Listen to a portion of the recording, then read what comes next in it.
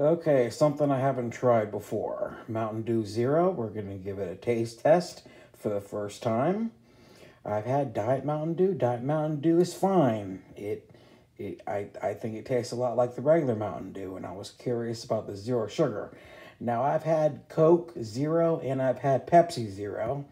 I think those taste fine. I prefer the Pepsi Zero because the Pepsi brand is always a little bit sweeter than the Coke brand. And when there's zero sugar, you know, you want it to taste as sweet as possible.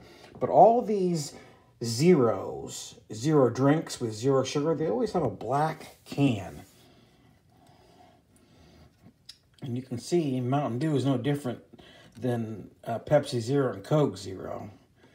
So, so they have a black can as well.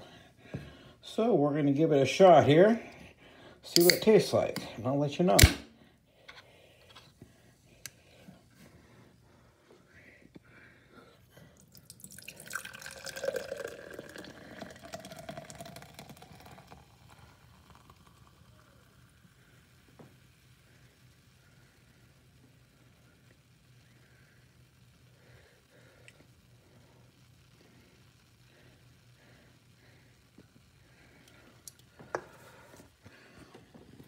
Okay.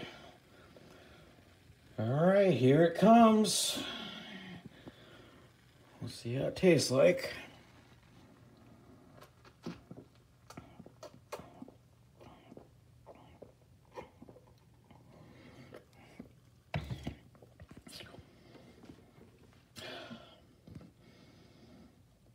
I think it's good.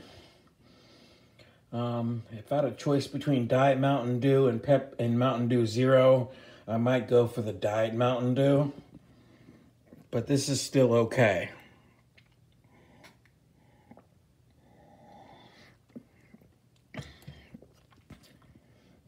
It's basically the same Mountain Dew taste with less sugar. So there we go. There's your taste test for the day. Let me know what you think of this product. You all have a nice day.